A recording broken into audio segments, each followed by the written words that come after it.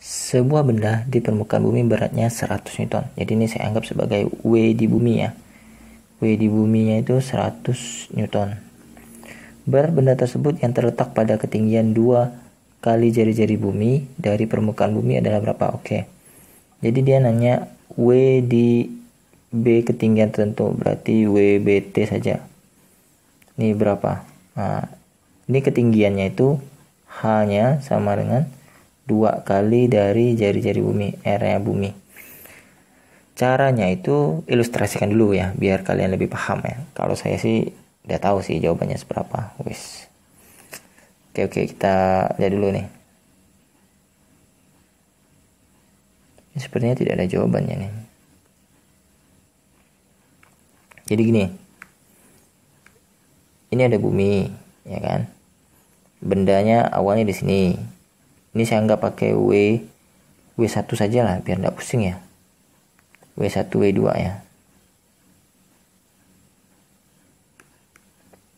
W1 W2 nah, karena sama-sama di bumi ya. Kemudian dia berada ketinggian sini. Ini W2 nya hanya itu dua kali jari-jari bumi. 2R ini R Nah, berat benda tersebut yang terletak pada ketinggian dua kali jari di bumi. Oke, berapa gitu ya? W1-nya itu 100 saja ya.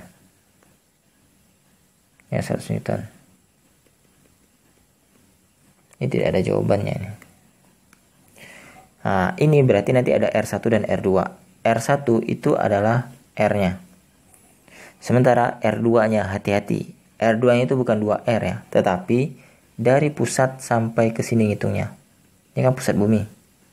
Jadi itu R2-nya itu adalah dari pusat sampai ke ketinggian 2R. Maka total jaraknya itu sampai ke pusat itu adalah 3R. Karena R ditambah 2R. Maka dapatnya 3R. Rumusnya dia pakai perbandingan. W2 per W1 sama dengan buka kurung R1 per R2 tutup kurung kuadrat. Nah, inilah dia rumusnya. Nah, berarti nanti tinggal masukkan angkanya. W2-nya tidak tahu berapa, W1-nya itu adalah 100, R1-nya R, R2-nya itu 3R, bukan 2R. Nah, makanya saya bilang ini tidak ada jawabannya ini. R-nya coret, coret. Ini kan dapatnya 1 berarti kan. 1 dikuadratkan itu dapatnya 1. 3 dikuadratkan dapatnya 9.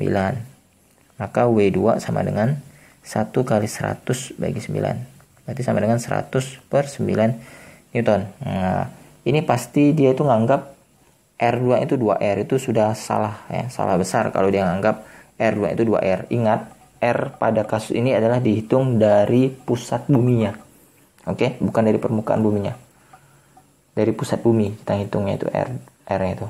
Makanya R1-nya itu R doang. Kalau ngitung dari permukaan bumi, R1-nya 0 dong. Nah, jadi kita ngitung dari pusat bumi sampai ke permukaan sampai pada ketinggian benda tersebut. Oke. Okay? Ketika dia di R1 itu hanya R. Sementara ketika dia berada di R2 karena sudah ketinggiannya 2R dari permukaan bumi, kalimat soalnya ya. Dua kali jari-jari bumi pada ketinggian dari permukaan bumi. Nah,